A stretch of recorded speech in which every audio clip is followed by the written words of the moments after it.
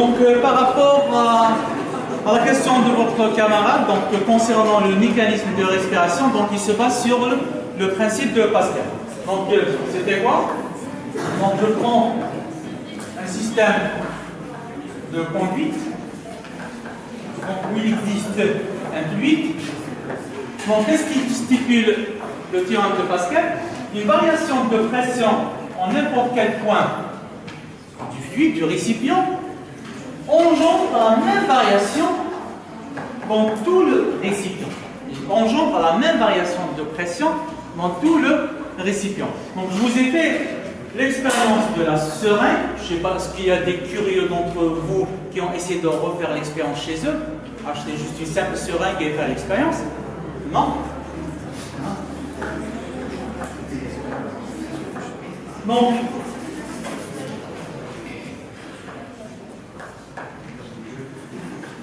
Vous avez ici un piston. Donc c'est la membrane là, le piston en caoutchouc à l'intérieur de la seringue. Donc si je bloque, si je bloque cet orifice là, et j'essaie d'exercer une force comme ceci. Donc qu'est-ce que je fais? Je diminue le volume. Donc la relation PV égale à NRP, vous la connaissez? Donc les variations se font lentement de telle manière que la température reste pratiquement constante, donc ce qui veut dire que PV est égal à une constante. Lorsque je diminue le volume, V diminue. Donc la pression, automatiquement, est égale à la constante sur V. Lorsque l'un diminue, l'autre augmente. Donc lorsque le volume diminue, automatiquement, la pression augmente. Donc je diminue le volume à l'intérieur du récipient la pression à l'intérieur augmente de manière homogène à l'intérieur. Donc c'est la même pression partout à l'intérieur. Ok, très bien. Donc euh, nous avons un... Dans les branches, voilà, schématisé par une conduite qui se scinde en deux. Voilà. Ici nous avons mis un petit ballon en caoutchouc. Donc on met tout ça dans un bocal. Donc le fond est ouvert. Le fond, je le ferme avec une membrane élastique. Avec une membrane élastique. D'accord. Donc, quand j'exerce,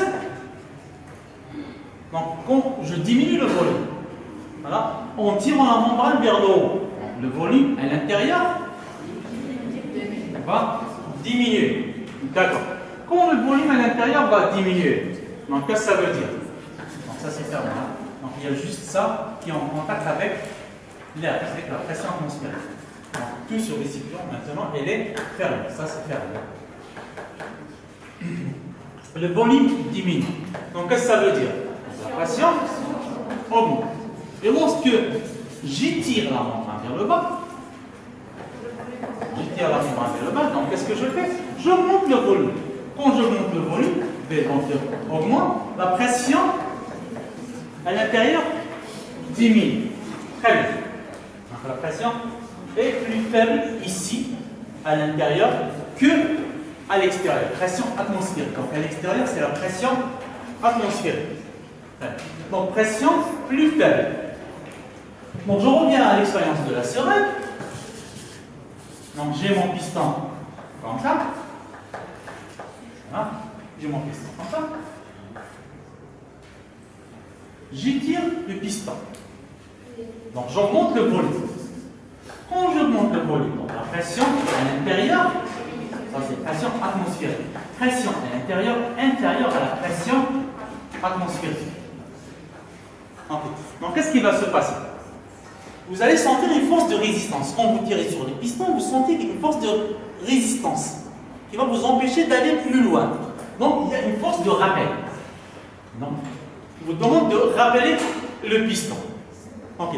Si je ne fais pas rappeler le piston, qu'est-ce qui va se produire? Donc, on va essayer. Maintenant, il y a ici une force plus importante que la force qu'il y a ici. À cause de quoi? La pression.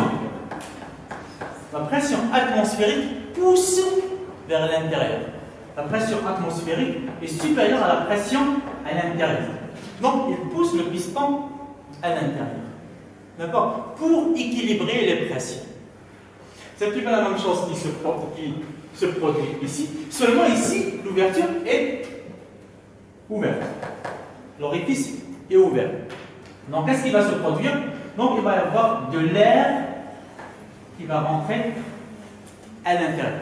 Si j'enlève mon doigt ici, donc il va y avoir de l'air qui va rentrer à l'intérieur, de telle manière à ce que la pression à l'intérieur soit identique à la pression atmosphérique. Pression intérieure, donc identique à la pression atmosphérique. Les deux forces sont les mêmes. Donc il ne va pas y avoir de mouvement. Revenons ici. Donc quand j'attire la membrane, j'augmente le volume, la pression diminue. Donc je crée ce qu'on appelle une dépression à l'intérieur. Il y a une dépression à l'intérieur. Donc le fait qu'il y ait une dépression à l'intérieur, donc le système va essayer, rééquilibrer les, les pressions entre l'extérieur et l'intérieur. Donc tout ce qui va se produire, hein, donc j'ai augmenté le volume. Donc qu'est-ce qui va se produire? Le volume qui a été augmenté va être compensé par la dilatation de ces balles. Et je vais retrouver le volume qu'il y avait initialement à l'intérieur. Ça veut autrement dit Je retrouve la pression à l'intérieur, à l'intérieur égale à la pression atmosphérique. Parce que ici, c'est le même conduite jusqu'à l'air. D'accord? Donc ici, c'est la pression atmosphérique. Donc il va égaler les pressions soit à l'intérieur du récipient, ou à l'intérieur de ces poches qui sont les poumons. D'accord? Donc, lorsque le diaphragme descend, c'est un muscle, il descend, il monte, lorsqu'il descend, il augmente le volume à l'intérieur, donc il crée une dépression. Aspire l'air. On aspire comme ça l'air. D'accord? Et quand le diaphragme remonte, c'est le phénomène inverse qui se produit. Donc je diminue le volume, donc je crée une surpression à l'intérieur. Donc la pression à l'intérieur augmente, par ici, avec la seringue. Donc ici, là, je dépasse. Donc je diminue le volume. Donc pression intérieure supérieure à la pression atmosphérique. Toujours vous ressentez qu'il y a une résistance. Je mets mon doigt ici. Vous sentez qu'il y a une résistance. Ok, la pression à l'intérieur. Donc pression à l'intérieur, ça à l'extérieur, donc c'est pression atmosphérique. Ok. Donc pression à l'intérieur, donc va repousser le piston vers l'arrêt. Ok. Ici, j'enlève mon doigt, donc qu'est-ce qu'il va y avoir Il va y avoir de l'air qui va s'échapper. Exactement la même chose ici. Donc je crée une surpression, donc la pression à l'intérieur supérieure à la pression atmosphérique. Ok donc euh, pour retrouver l'équilibre entre la pression intérieure et la pression extérieure, donc il va y avoir de l'air qui va s'échapper. Donc en retrouvant le volume initial. Donc ça va se rétrécir. Donc ça, ça va se rétrécir.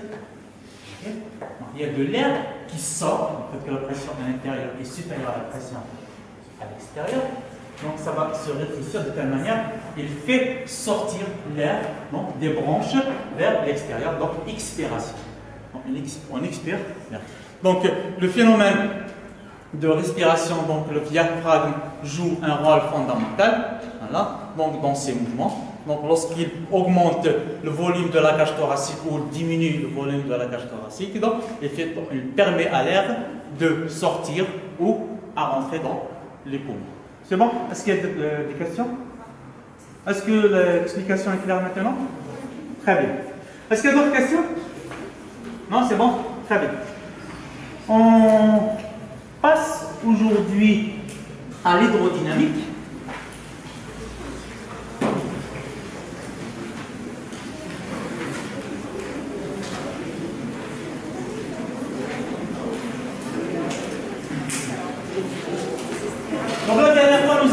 l'hydrostatique, donc c'est la statique des fluides.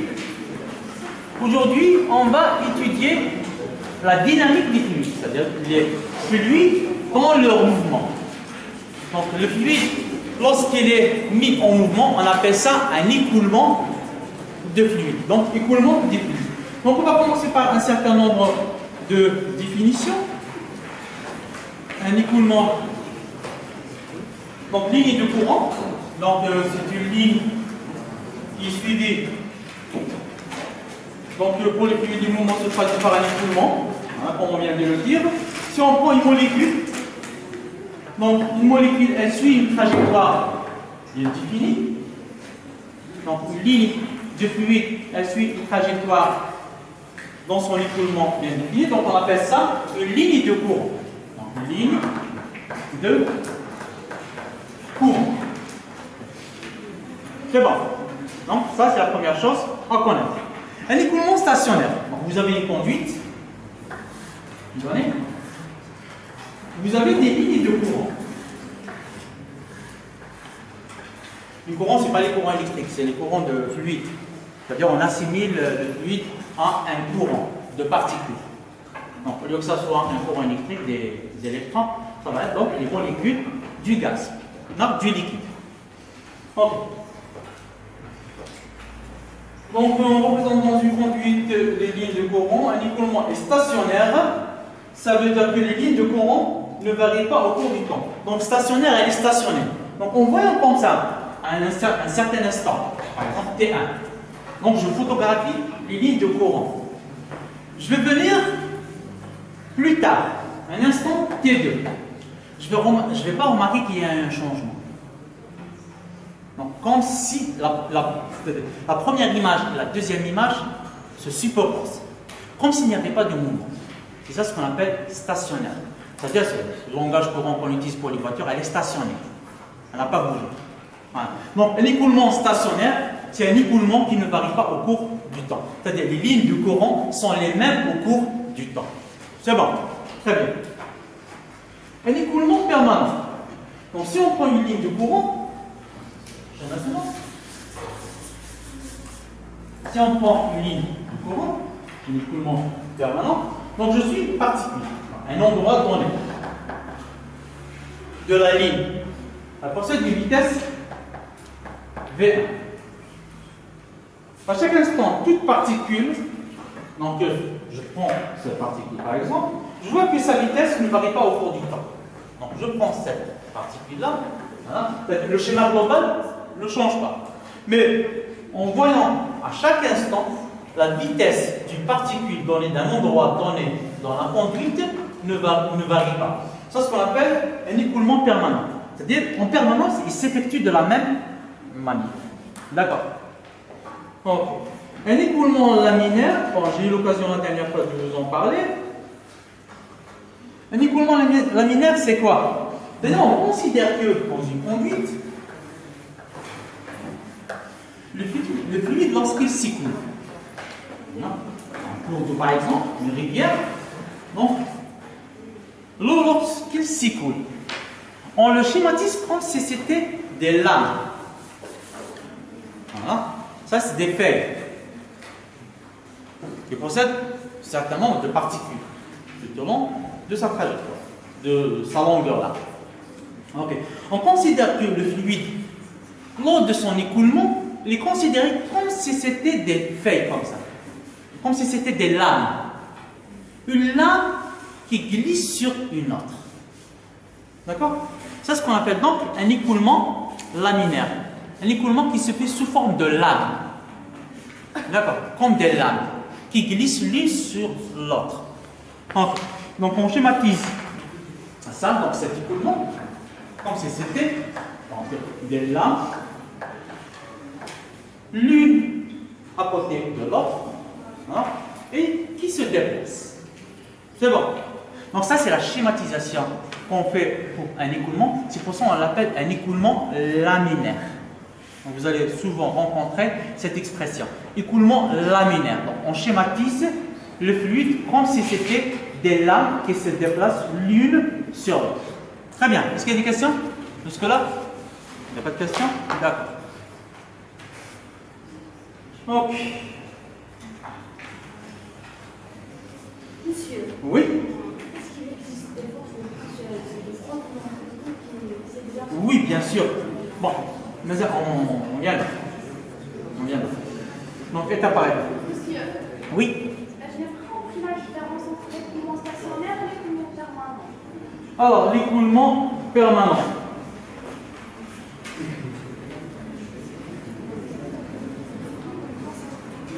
Alors, l'écoulement permanent. C'est-à-dire, on voit que les lignes de courant sont les mêmes dans le temps, même si la vitesse d'écoulement change. Ici, c'est-à-dire pour l'écoulement stationnaire, on ne parle pas de vitesse. Le schéma, je vous ai donné la représentation de photos. La première photo et la deuxième photo nous semblent les mêmes. Mais est-ce qu'on a l'information sur la vitesse? Non. Mais dans le deuxième cas, on vous parle de vitesse permanente, c'est-à-dire chaque particule garde la même vitesse. C'est-à-dire le mouvement est permanisé. D'accord? Il prend le même état tout le temps. Est-ce que c'est clair? Bon. Est-ce que c'est clair pour les autres? Merci pour la question. Donc pour l'écoulement laminaire, donc si on prend une section de fluide S, on prouve que la vitesse des molécules lorsqu'on se rapproche des bords de la conduite diminue. Ceci est dû au frottement du fluide avec les bords de la conduite. Donc, euh, pour un fluide réel,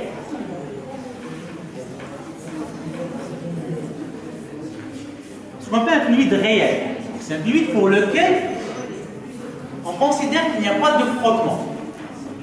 Mais ce n'est pas la réalité sauf dans le cas de la suprafluidité. À très très basse température, certains fluides possèdent la propriété de la suprafluidité, c'est-à-dire on élimine carrément les frottements.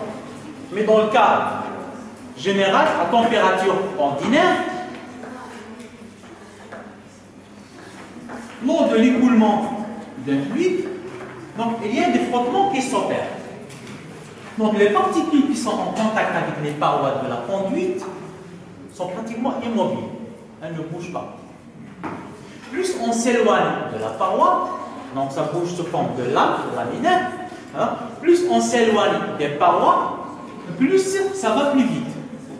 ici, pas de vitesse, jusqu'au centre.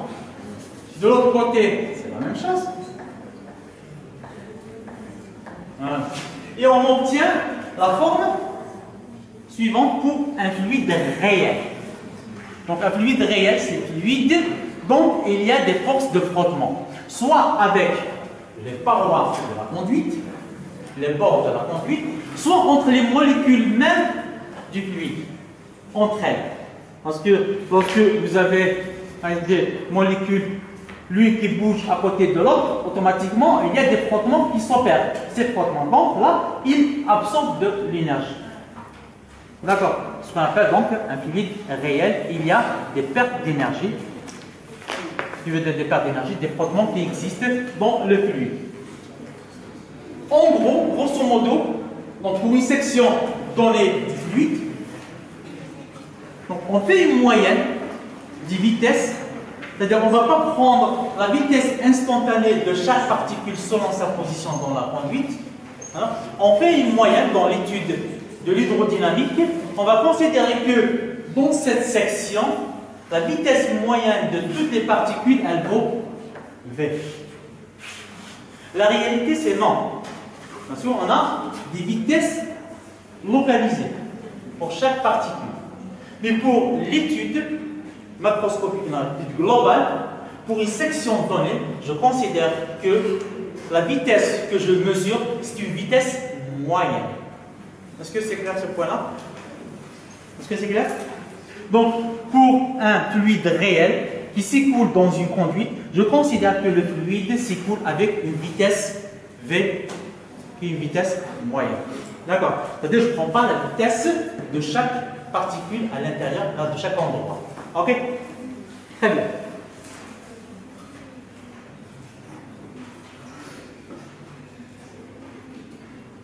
Un écoulement turbulent, maintenant. C'est quoi un écoulement turbulent? Donc, comment on peut distinguer un écoulement laminaire d'un écoulement turbulent Donc, on classe les écoulements sous, ces deux grandes catégories. Écoulement turbulent, écoulement laminaire. Alors, l'écoulement laminaire, on le rencontre lorsque les vitesses d'écoulement sont faibles la vitesse d'écoulement sont faibles. Un écoulement turbulent, On le rencontre généralement lorsque la vitesse d'écoulement est importante. Donc, qu'est-ce qu'on remarque? Lors de l'écoulement du fluide, on rencontre des tourbillons qui se créent. Donc, des tourbillons qui se créent dans une conduite, lorsque la vitesse est très très importante. C'est simple, je vais vous donner un exemple pour mieux comprendre ça. Souvent, ça se produit chez vous à la maison. Quand vous ouvrez le robinet, vous entendez un bruit dans les conduites. Vous entendez un bruit dans les conduites. Est-ce que vous avez déjà eu ce, ce constat Quand vous ouvrez le robinet, vous entendez que les conduites font un bruit. Est-ce que vous avez remarqué que ce bruit, vous l'entendez lorsque la pression est importante? Lorsque la pression est faible, vous l'entendez. Ce bruit-là que vous entendez est dû aux turbulences dans le fluide, dans l'écoulement du fluide dans les conduites.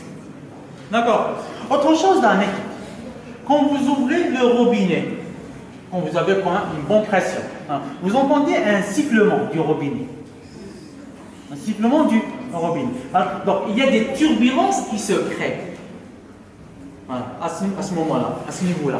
Donc il y a un obstacle donc les turbulences, on les rencontre lorsque la vitesse d'écoulement est importante. Deuxième phénomène, lorsqu'il y a des obstacles. Lorsqu'il y a des obstacles dans la conduite, vous allez entendre des sons qui sont dus à des turbulences. Par exemple, je prends cette conduite-là, je prends une autre conduite. Donc vous avez un obstacle. Comme ça. Comme ça. Allez. Alors, le fluide, lorsqu'il s'écoule dans cette courbe, dans cette trajectoire, cette conduite qui est courbée, donc il peut avoir des turbulences à l'intérieur. Ou lorsqu'il rencontre un obstacle, un obstacle, donc, alors le fluide ici s'écoule comme ça. Au moment où il rencontre un obstacle, s'il vous plaît, au moment où il rencontre un obstacle, il va y avoir des turbulences sur l'obstacle. C'est comme vous avez, vous marchez sur une, du plat, donc vous ne ressentez rien. S'il y a une bosse, s'il y a une bosse sur le, parterre, qu'est-ce qui va se produire? Il peut avoir des dégâts. Si, vous ne voyez pas la bosse, vous risquez de tomber. Alors ça va créer du bruit. Donc les turbulences, c'est un petit peu la même chose. Donc s'il n'y a rien, donc il va y avoir un écoulement normal. S'il y a un obstacle, un obstacle, donc il peut y avoir création de turbulence. Oui. Si on n'a pas des obstacles, plus Voilà, à ce moment-là, ici, pareil. On peut avoir des turbulences. C'est le premier cas que j'ai cité. Donc la vitesse est importante, il n'y a pas d'obstacle. Et il y a des turbulences qui se génèrent. D'accord Donc les deux cas où on rencontre les turbulences. Alors, vous sentez les, battements du cœur. C'est dû à quoi À des turbulences qui se créent à l'intérieur du cœur dues à la fermeture et à l'ouverture des valves. Aussi au stéthoscope. Pour prendre la tension au stéthoscope, donc vous pressez la veine. Donc vous augmentez la pression, vous pressez, vous avez une certaine valeur, vous n'entendez rien. Et puis vous relâchez la pression. À un certain moment, vous entendez des battements. Ces battements-là correspondent à des turbulences. Donc il y a fermeture de la veine, la fermeture de la veine par, comment on l'appelle, le cathéter, du tensiomètre. Voilà. Au moment où vous diminuez la pression, vous permet donc au son de passer. Au moment où le son passe, il crée un bruit. Il y a des turbulences, il y a des turbulences qui se créent ici. D'accord Et c'est le son que vous entendez donc au stéthoscope par le tensiomètre. D'accord Donc est-ce que cette idée-là est claire? Écoulement laminaire, écoulement turbulent. Est-ce qu'on a fait le, le point sur ça? Est-ce qu'il y a des questions? Très bien. Alors on va définir la notion de débit. Donc c'est la variable fondamentale de l'hydrodynamique.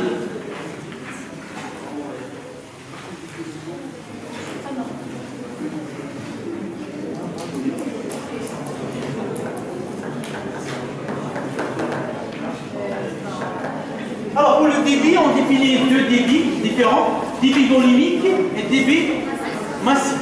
Alors le débit volumique, c'est le volume qui traverse une conduite par unité de temps.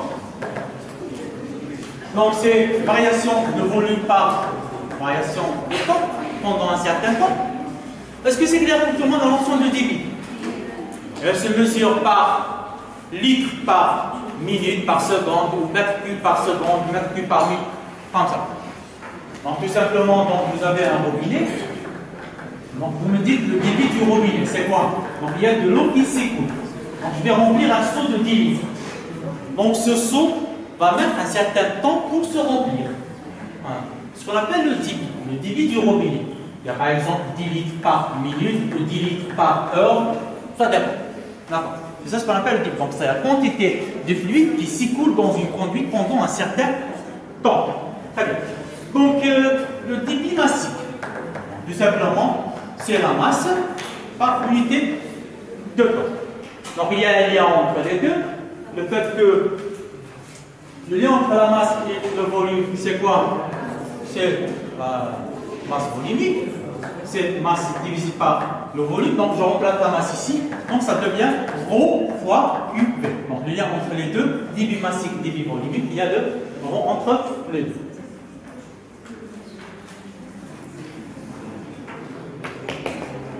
Les relations fondamentales, c'est la relation de continuité. Conservation du débit ou relation de continuité.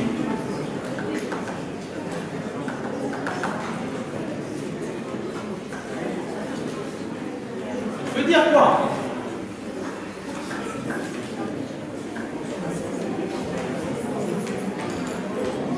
Vous avez une conduite. Je suppose que la section de la conduite n'est pas la même partout. Donc ici, en ce point, c'est S1. En ce point, c'est S2. Oui. Pardon Oui. Merci. Alors, ce côté-là, donc, c'est S1. Ici, c'est section S2. Donc, il y a un fluide qui s'écoule.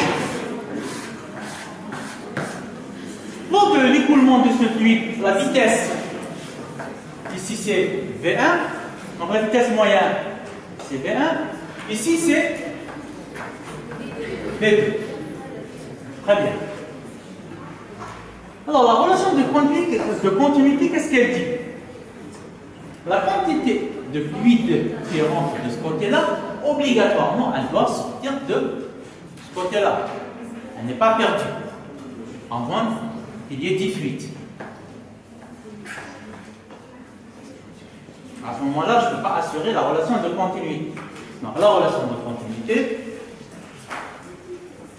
c'est une loi universelle, fondamentale. Donc la quantité de fluide qui rentre de ce côté-là, je dois le retrouver de ce côté-là. Très bien. Donc V1 égale à V2 en termes de volume. Le volume, c'est quoi? C'est S1 fois delta X. Donc, pour un volume donné, donc il parcourt une certaine distance delta X1 pendant un certain temps delta T. Pendant le même temps delta T, de l'autre côté, le fluide a parcouru une distance delta x2. D'accord. Donc V1 est égal à V2, donc S1 delta x égale à S2 delta x1, S2 delta x2. Très bien. Alors,